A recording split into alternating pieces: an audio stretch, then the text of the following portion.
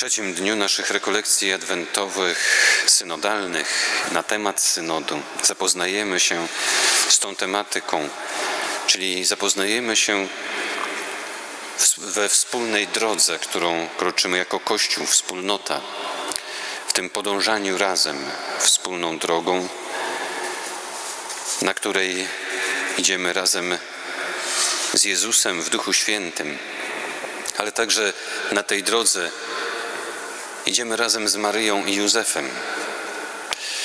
To szczególnie w tym adwentowym czasie mocno jest nam bliskie, dlatego że również uczestniczymy w tym oczekiwaniu adwentowym wraz z Maryją i Józefem na narodzenie Chrystusa, a w tym duchowym naszym podążaniu razem w czasie synodu oczekujemy i prosimy o łaskę Ducha Świętego, aby On przyszedł i nas ogarnął, tak jak ogarnął Maryję i Józefa. Maryja i Józef byli świeckimi ludźmi. Na pewno sami, jak słyszymy z ich relacji, nie czuli się wybranymi w jakiś sposób szczególny.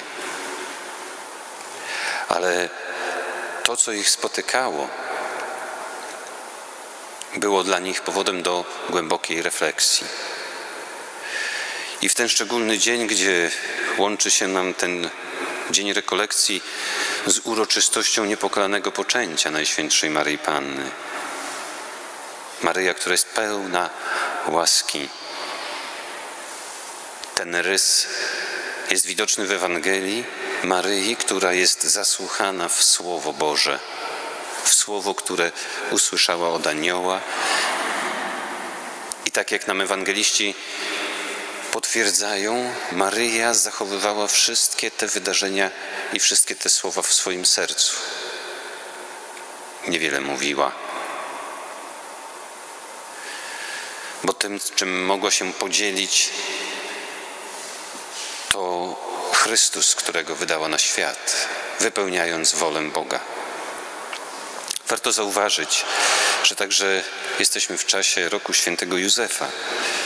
To dlatego on, który bardzo dyskretnie jest obecny w życiu Kościoła, ale także w życiu świętej rodziny, wspierając Maryję na tej drodze, także wspiera Kościół, wspólnotę wszystkich nas. Nie zawsze to zauważamy. Jak wiele rzeczy w życiu nie zauważamy. Jakbyśmy mieli zrobić sobie takie złożenie wszystkich rzeczy, których nie zauważamy w naszym życiu, to zapewne byśmy się może nawet i przerazili. Ale nie o to chodzi. Bo Duch Święty przynagla nas do tego, aby odpowiedzieć w odpowiednim czasie na wezwanie przychodzącego Boga.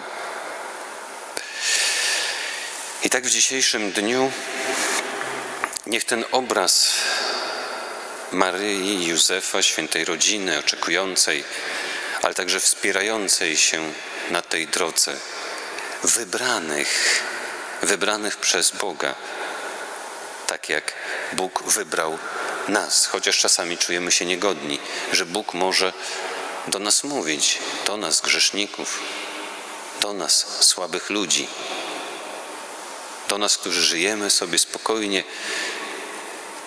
Czy Duch Święty może przyjść do mnie ze swoim światłem? No właśnie Ewangelia, właśnie życie Maryi, Józefa i e, wielu pokoleń pokazuje, że Duch Święty wieje, kiedy chce. I przychodzi, jak sam chce, aby człowiek był otwarty na Niego, aby był przy Nim, aby także swoją wolną, świadomą, dobrowolną wolą mógł powiedzieć: Tak, jestem otwarty na Twoje działanie, Duchu Święty. Bo bez tej, tej deklaracji człowieka nikt nic nie zrobi.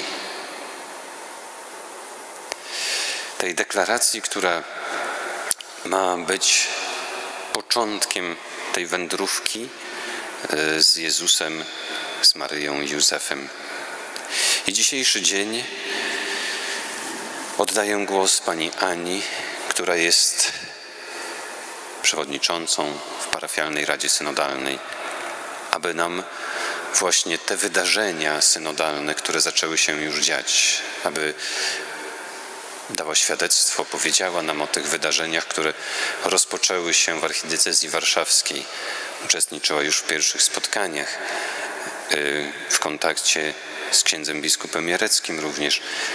Niech opowie nam, jak te wydarzenia zaczęły się już w kościele. Przybliży nam ten tutaj kościół nasz, bliski, warszawski. Zapraszam Pani Aniu to tutaj do ambony. Proszę o słowo do nas.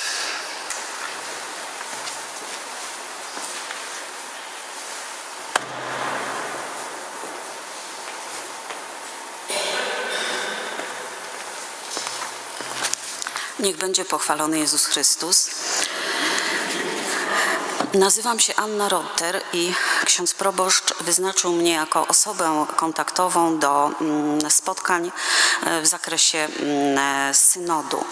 I takie spotkanie odbyło się e, w mm, kurii warszawskiej w dniu 25 listopada tego roku. Prowadził je biskup Jarecki i mm, były obecne mm, osoby kontaktowe z wszystkich parafii. Y, biskup Jarecki w trakcie tego spotkania wielokrotnie powoływał się na homilię papieża Franciszka. Mm, Ojciec Święty wygłosił ją podczas mszy świętej inaugurującej rozpoczęcie synodu.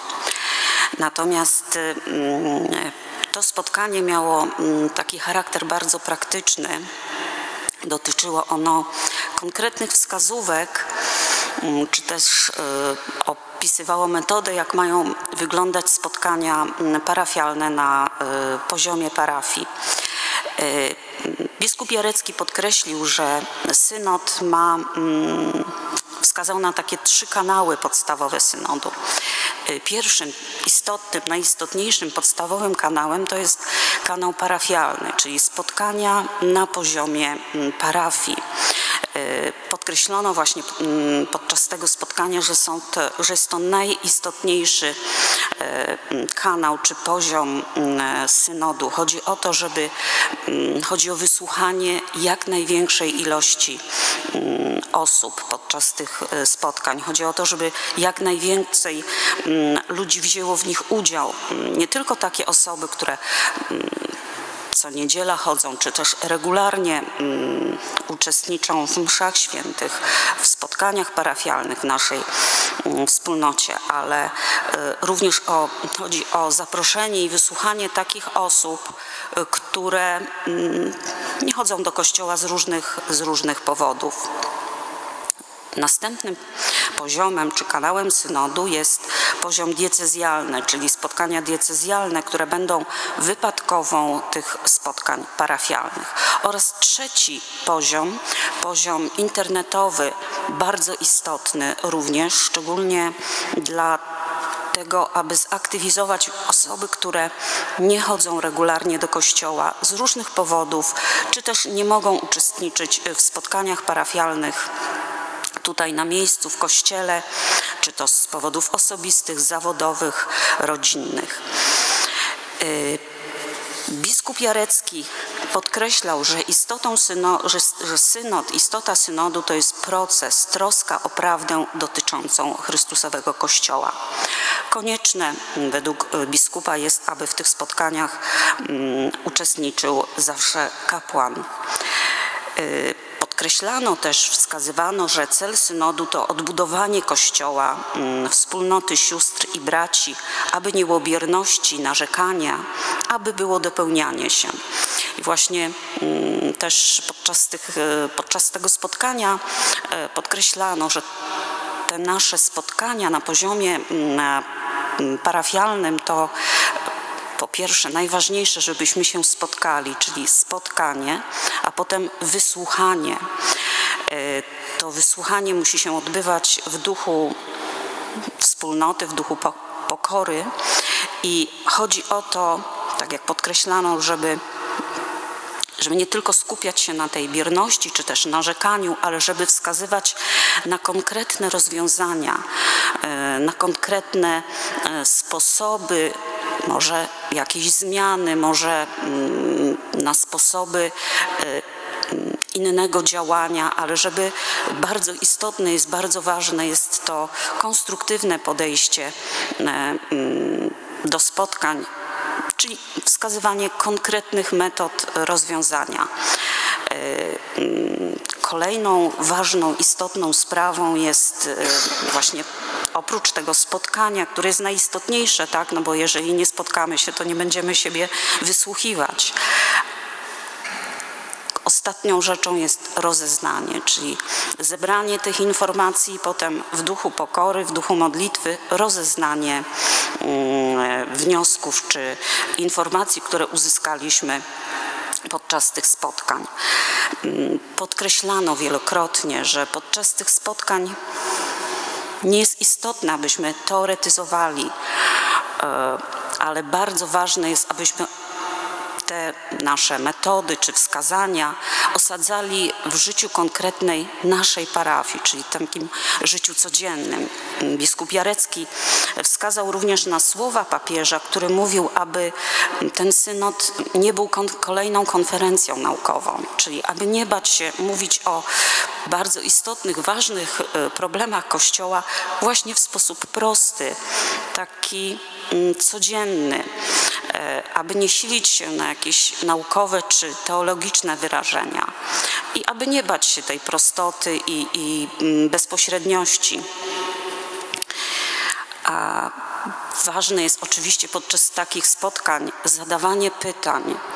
Mm, czy to mm, w grupach, czy nawet y, przed spotkaniem, y, aby rozważyć we własnym sercu, co chciałabym powiedzieć, co, co chciałbym powiedzieć, co chciałbym, y, jakie wskazówki dać, co należy zmienić albo przeobrazić może. Biskup Jarecki też wypuklił to, wielokrotnie, że świeccy należą do kapłaństwa powszechnego, a księża do kapłaństwa służebnego. I właśnie e, w tym synodzie też bardzo ważne będzie to kapłaństwo powszechne e, członków mm, ludu Bożego, który będzie miał prawo czyli czy będzie, my będziemy mieli możliwość zabrać, e, zabrać głos, ale też to jest istotne, że mm, już tak konkludując, biskup Jarecki stwierdził, że mm, te nasze spotkania na poziomie parafii nie będzie jakichś konkretnych, bardzo mm, takich e, e, prawnych uregulowań co do tego, jak one mają wyglądać.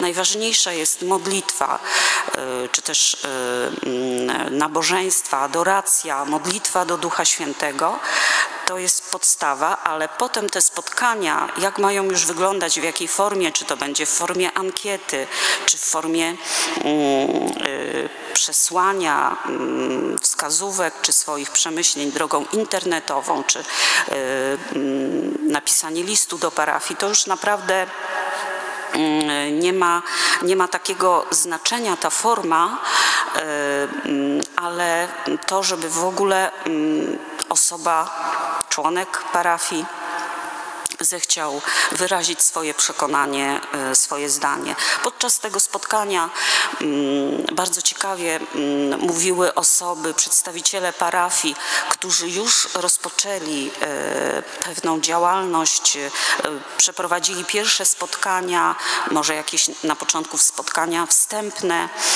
Jedna z parafii na Bielanach skonstruowała swoją ankietę pod potrzeby na potrzeby swojej parafii.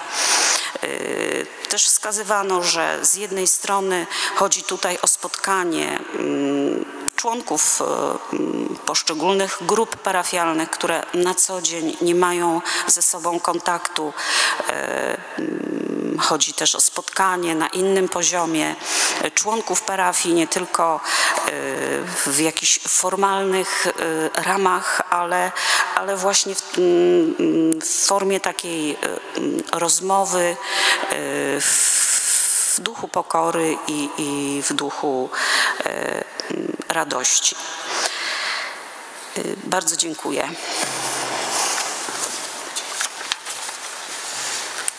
Bardzo dziękuję Pani Ani za te kilka słów.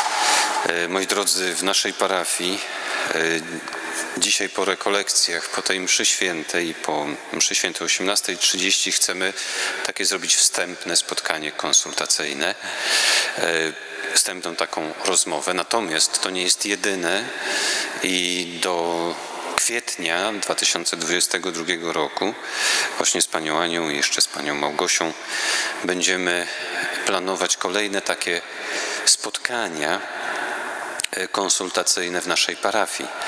E, Także myślę, że według naszych obliczeń może być ich nawet e, z osiem, e, osiem takich spotkań. To w odpowiednim czasie również będę o tym informował. I dzisiaj naturalnie, że nic nie jest pod przymusem, ale w wolności serca, tym, co Duch Święty w nas, w nas pisze, zapraszam po mszy świętej na te konsultacje.